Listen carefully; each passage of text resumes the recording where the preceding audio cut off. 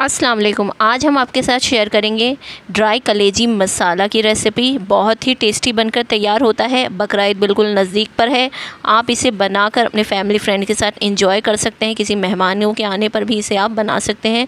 बहुत ही टेस्टी और लाजवाब बन के तैयार होती है। तो रेसिपी शुरू करने से पहले चैनल पर नए हो तो चैनल को सब्सक्राइब कर लें। वीडियो अच्छी लगे तो एक लाइक ज़रूर करें। तो सबसे पहले यहाँ मैंने कलेजी को धो लिया है। फिर मैंने इसमें डाला one and half teaspoon अदरक लहसुन का पेस्ट और इनको डालकर मैं अच्छी तरीके से इसमें मिक्स कर दूँगी। इस तरीके से मिक्स करके अगर आप अदरक लहसुन के पेस्ट को रखेंगे तो जो कलेजी के अंदर स्मेल होती है, वो बिल्कुल पकाने पर नहीं आएगी। इसे मिक्स करके पाँच से दस मिनट के लिए हम रख देंगे। उसके बाद यहाँ मैंने टमाटर, एक बड़ा प्याज, हरी मिर्चें और हरा धनिया को कट करके रख लिया है। मिर्ची आप अपने टेस्ट के अकॉर्डिंग ले लें। मसालों के लिए मैंने वन टेबल स्पून साबुत धनिया लिया है वन टीस्पून सौंफ लिया है। हाफ़ टी स्पून ज़ीरा ले लिया है और एक दालचीनी का टुकड़ा दो हरी इलायची ले ली है।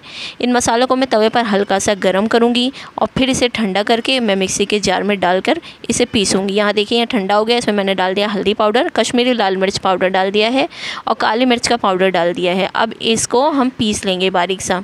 ये देखिए, हमारा मसाला तैयार हो गया है। पैन में मैंने सरसों के तेल को गर्म किया। जब ये गर्म हो गया तो एक बड़ी प्याज बारीक कट करके मैंने इसमें डाल दी है।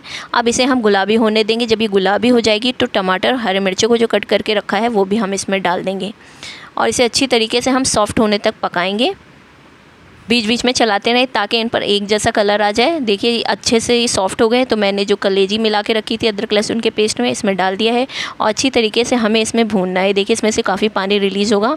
हमें इसे बिल्कुल ड्राई करना है। अब नमक डाल दिया है मैंने टेस्ट के अकॉर्डिंग और जो मसाला तैयार किया था, वो इसमें डाल के अच्छी तरीके से मिक्स कर देंगे हम और ढक देंगे पाँच से दस मिनट के लिए। ये देखिए, तेल इस पर ऊपर आने लगा है। कलेजी हमारी अच्छी तरीके से भून चुकी है। इसे अच्छी तरीके से मिक्स करेंगे। नमक वगैरह आप इसे स्टेज पर चेक कर लें। अब आधा कप के करीब मैंने इसमें पानी डाला है ताकि कलेजी गल जाए। ढककर हम इसे पकाएँगे। और इसके अंदर मैंने डाल दिया है कसूरी मेथी। इससे खुशबू बहुत अच्छी आती है। अभी इसमें पाँच मिनट हमें इसे और पकाना है क्योंकि हमें बिल्कुल ड्राई कलेजी चाहिए। ये देखिए, इस तरीके से जब ड्राई हो जाएगी फ्लेम को बंद कर देंगे। बहुत ही टेस्टी ये ड्राई कलेजी बनकर तैयार होती है। आखिर में मैं इसमें हरा धनिया कट करके डालूँगी। बिल्कुल हमारी कलेजी सर्व करने के लिए तैयार है। इसे अब पाँव के साथ, नान के साथ, तंदूरी रोटी के साथ बहुत ही मज़ा आएगा आपको। तो इस बकरा ईद पर इस कलेजी को आप ज़रूर बनाएँ अपना फीडबैक मुझे दें। वीडियो अच्छी लगे तो एक लाइक ज़रूर करें। दुआ में याद रखें। अल्लाह हाफिज़।